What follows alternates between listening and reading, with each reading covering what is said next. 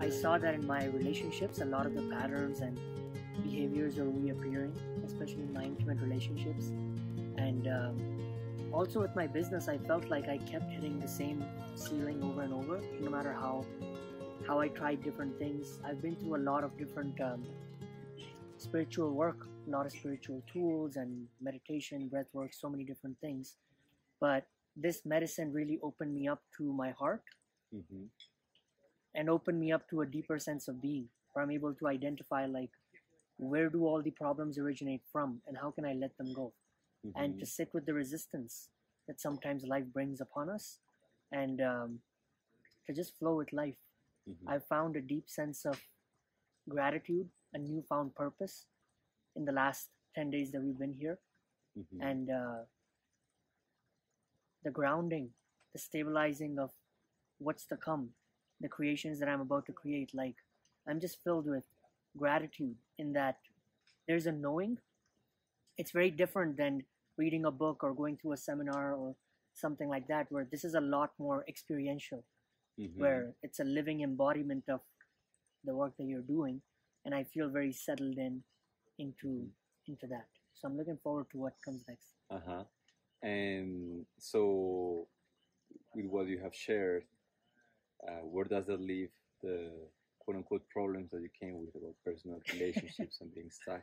How how do you feel about them? Where you're where are you at in relationship to yeah what troubled? like i said there's a certainty and there, there's a knowing in the path that i'm going when i came here the first couple of days i wrote down like all my intentions like i want solution to this problem and this problem and i would love to resolve this issue and everything and now when i look at the same list i go like these are not even problems. Like these are just situations. And i'll i'll repeat something that you mentioned that stuck with me and stuck a chord with me deeply yesterday. It's life is not you know just a bunch of problems to solve. It's a mystery that unravels itself. It's something that we get to enjoy.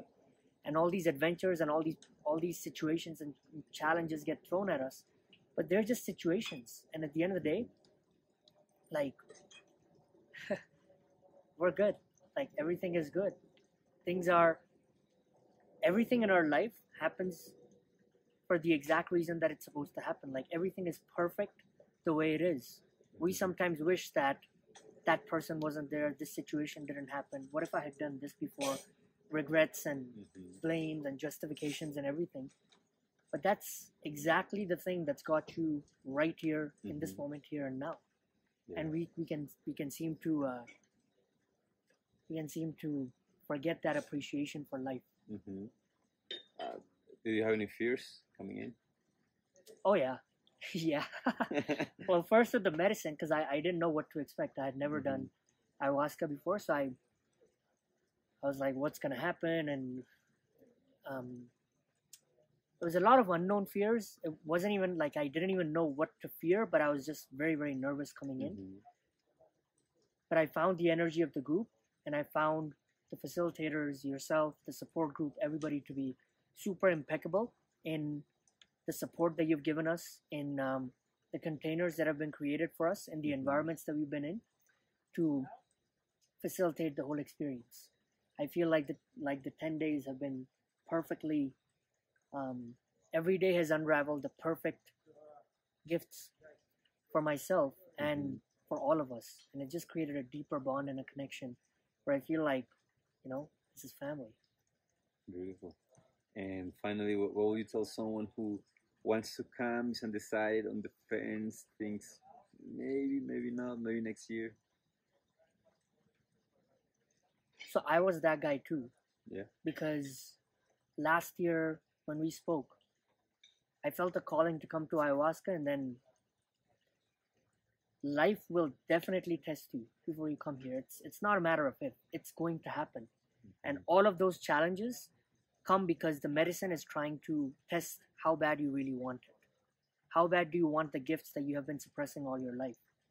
And um, there's a deeper sense of knowing that the right person watching this if you know you know even though there's that it's going to be uncomfortable there's going to be resistance but you know i have this thing to take care of and i have this event and this thing or whatever and all these things but deep down inside, if you know you've got to be here, then do whatever it takes to be here because you will not leave here the same man. Like I, I literally cannot recognize the person that I was 10 days ago.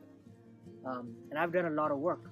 I've done a lot of spiritual work, but this took me to a deeper layer of freedom in myself, where I, I, I'm just open to what life has to bring me, and uh, I'm willingly accepting it with open arms. Good. Thank you. Thanks, man.